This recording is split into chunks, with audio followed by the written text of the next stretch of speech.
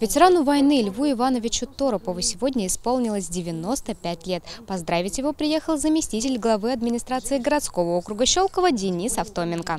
Разрешите вас поздравить, вот от президента вам конверт вручили личный.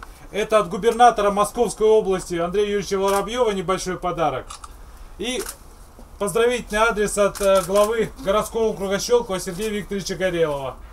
Лев Иванович родился 10 сентября 1924 года в селе Володарка Топчихинского района Алтайского края.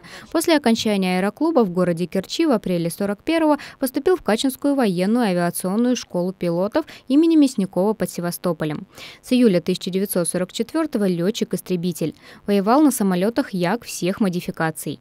В период подготовки Яско-Кишиневской операции участвовал в обеспечении воздушной разведки противника, а во время операции в прикрытии групп бомбардировщиков, которые наносили удары по железнодорожным узлам и скоплениям войск врага.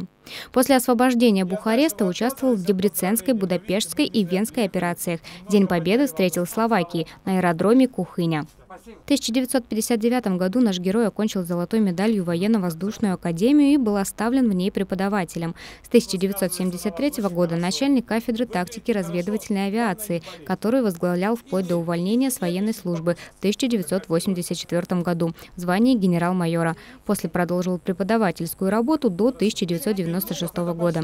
По традиции именинник в свой день рождения сказал пожелания и всем нашим телезрителям. Я хочу пожелать ну, во-первых, конечно, это здоровье. Это первое, что нужно человеку, тогда будет разговор уже и о других делах.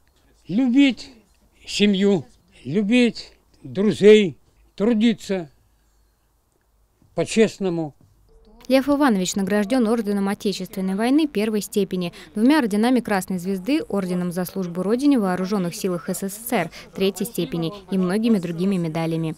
Мы еще раз поздравляем героя с днем рождения, здоровья и всего самого светлого.